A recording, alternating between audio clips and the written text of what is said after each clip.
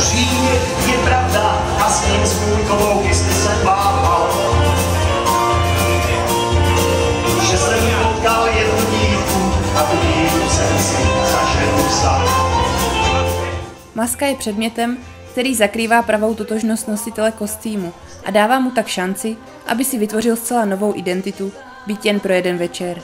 Skrýt své vlastní já za zcela novou postavu může být velmi osvobozující, což je zřejmě důvodem, proč jsou maškarní plesy tak oblíbené.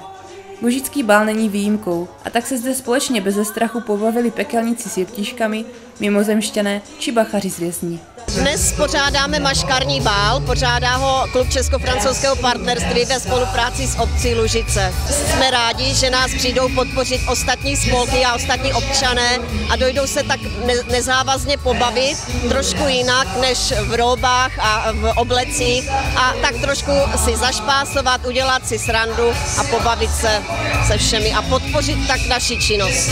Každá maska, která přichází, respektive skupinka mazek, si připravuje nějaký program, který se tady v průběhu večera odprezentuje.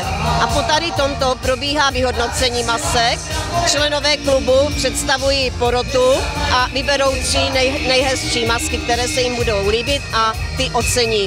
Samotný ples zahájilo vystoupení dětí z All Stars fitness týmu, ve kterém působí také úspěšná sportovkyně Lucie Dulovcová, která má za sebou úspěchy na mistrovství světa a mistrovství Evropy.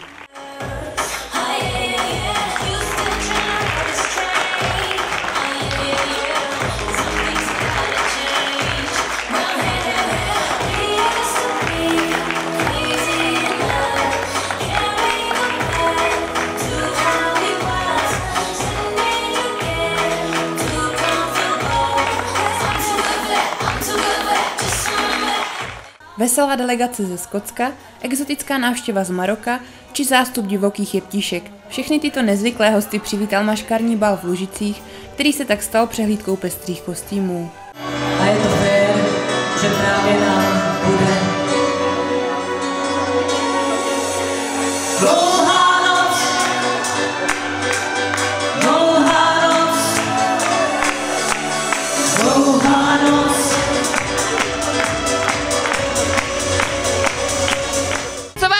vás sem přivedlo do Lužic až z dalekého Maroka? Přijeli jsme předvést módu z Maroka. Jsou v Maroku populární karnevaly stejně tak jako tady?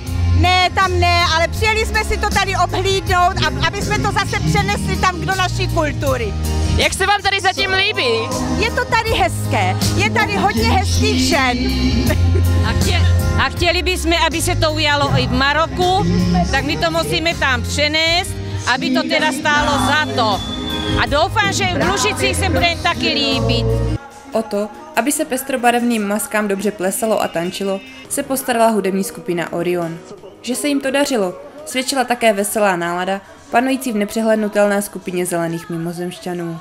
Jak to, že se mimozemská civilizace dostala do Lužic? Proč jste zrovna tady dneska večer? Protože nás sem zavál ten velký vítr z naší galaxie. A zeptám se, co máte dneska večer v plánu tady dělat? No, to ještě nevíme. Asi tady budeme tak poletovat. Co tady budeme dělat? A dělat dobrou zábavu. Navazovat vztahy. Exotický ples zpestřil ještě příchod veselé delegace ze Skotska, která si pro hosty plesu připravila dynamické vystoupení. Za maskami se skrývali členové klubu Česko-francouzského partnerství, kteří si speciální vystoupení připravují každoročně.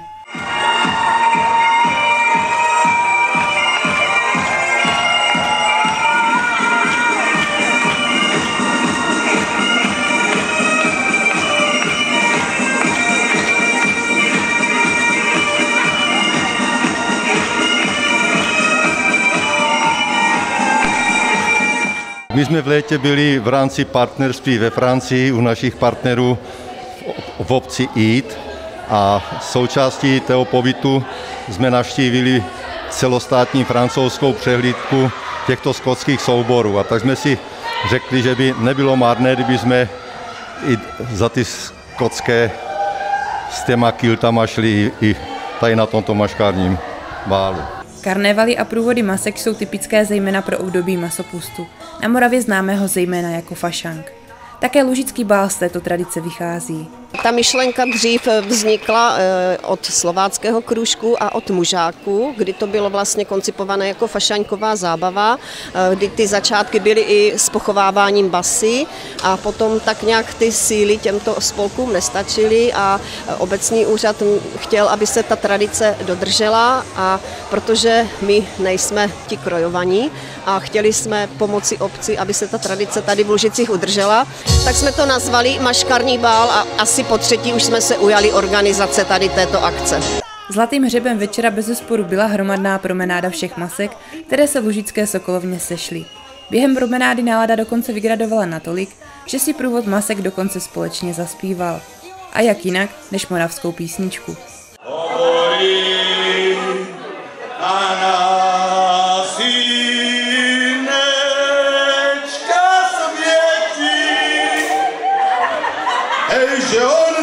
feel it yelling